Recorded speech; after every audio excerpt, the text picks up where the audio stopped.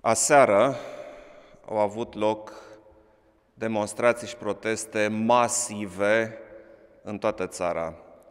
Sunt foarte impresionat de amploarea acestor manifestări și de faptul că românii au înțeles foarte bine despre ce e vorba cu aceste ordonanțe de modificare a codului penal și codului de procedură penală și au arătat românii foarte clar ce vor, un stat de drept. Aceste demonstrații au fost unele eminamente pașnice. Românii s-au adunat în număr foarte mare și pașnic și au spus păsul. Asta până după ora 10, când un grup, grupuri, asta vom ști mai târziu, de demonstranți violenți au intrat în piața Victoriei și au deturnat demonstrația. A fost evident pentru oricine a urmărit desfășurarea evenimentelor că românii au demonstrat în număr foarte mare, pașnic și au spus foarte clar ce doresc. A fost la fel de evident că acești demonstranți violenți, ca să nu spun altceva, au venit cu scopul de a strica manifestația din Piața Victoriei. Felul în care Ministerul de Interne nu a gestionat situația și felul în care jandarmii au acționat față de aceste grupuri de instigatori mă nemulțumește profund. Toată lumea, repet, toată lumea din structurile de forță a avut toate informațiile necesare. La Ministerul de Interne s-a știut foarte exact când, unde și ce grupuri se pregătesc pentru a, în ghilimele, pentru a sparge demonstrația din Piața Victoriei. În loc să izoleze pe aceștia acolo unde s-au adunat, și s-a știut foarte bine unde s-au adunat, i-au lăsat liber să se amestece printre demonstranții pașnici, punând astfel în pericol nu doar demonstrația, ci au pus în pericol sănătatea și chiar viața românilor simpli care s-au dus să demonstreze în mod pașnic. Foarte grav mi s-a părut faptul că doamna ministru de interne s-a dus la televizor și a spus că ea nu a știut nimic. Păi dacă n-a știut nimic, este cu atât mai grav. Înseamnă că nu conduce ministerul, ci doar stă în minister. Acest lucru este inadmisibil. Solicit doamnei ministru de interne și jandarmeriei lămuriri scrise, urgente și clare. De ce? Și cum a fost posibil să fie lăsate elemente violente să distrugă o manifestație pașnică cu tot Ministerul de Interne de față acolo. În chestiunea ordonanței, am decis să sesizez Curtea Constituțională. Este, după părerea mea și a juriștilor din administrația prezidențială, evident vorba de un conflict juridic de natură constituțională între guvernul pe de o parte, sistemul de justiție și Parlament în cealaltă parte. Acest document este pe drum și va fi depus în câteva minute la Curtea Constituțională. Dacă aveți întrebări, poftiți. Bună ziua, domnule președinte. Anca Urhean sunt de la România TV. Aș dori să vă întreb, spuneați că sunteți nemulțumit de faptul că cei de la jandarmi, cei de la MEAI știau toate aceste informații și nu au acționat cum ar fi trebuit. Să vă întreb dacă dumneavoastră ați avut aceste informații și de ce nu ați dat și dumneavoastră un apel la calm înainte de proteste sau chiar după ce a început respectivul protest ca să nu se ajungă poate în situația în care s-a ajuns aseară. Știți, o țară are un guvern tocmai ca să facă aceste lucruri, nu să dea noaptea ordonanțe. Este treaba guvernului și au ratat misiunea și guvernul și Ministerul de Interne. Mulțumesc. Dar președintele nu ar trebui să facă nimic în acest caz. Vă mulțumesc eu. Era să spun ceva, dar ar fi semănat cu o sintagmă care deja a fost uh, prea des folosită. Bună ziua, domnule președinte, Dana Păcura, Realitatea TV. În ceea ce privește deturnarea protestelor de aseară, aveți informații cine a stat în spatele acestor acțiuni? Cine avea aceste interese? Asta este o chestiune care trebuie lămurită de alții. Există voci în spațiul public care spun că au fost unii în spatele acestor manifestații care chiar au incitat și au contribuit la organizarea lor.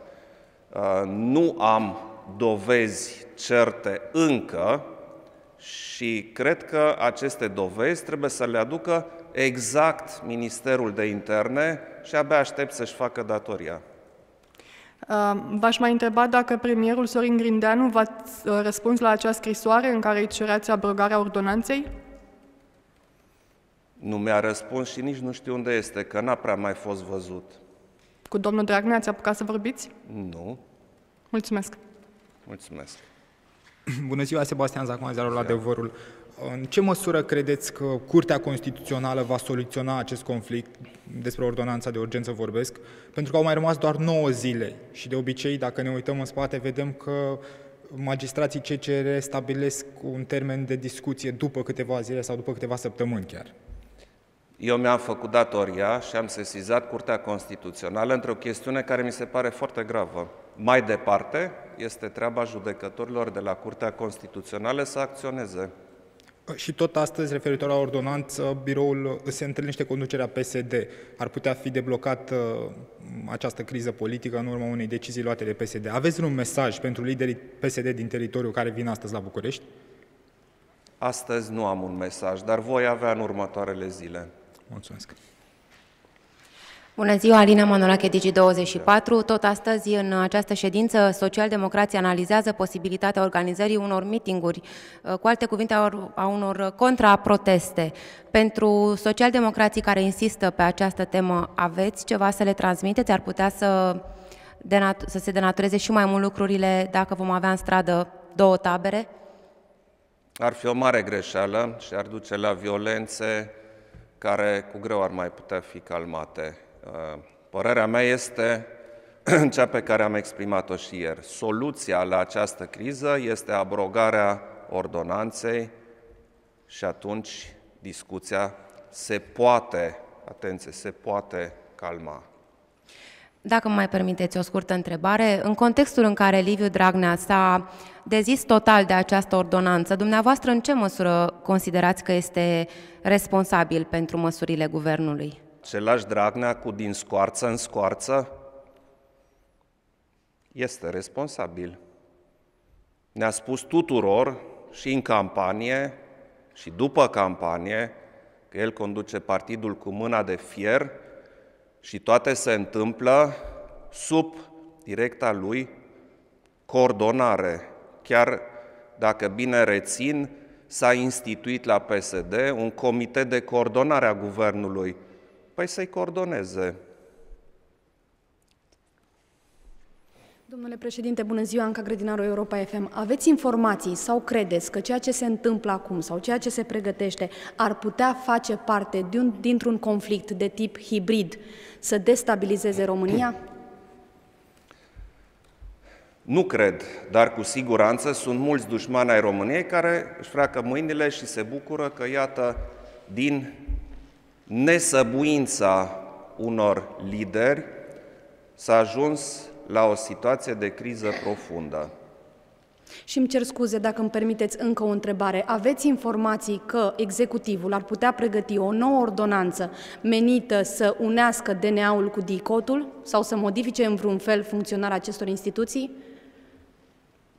Am citit în media și acuzația că s-ar pregăti și rectificarea din partea guvernului că nu s-ar pregăti. Acum, guvernul a mai spus și altă dată că nu vrea să dea ordonanță pentru modificarea codului, că nu pune pe ordinea de zi.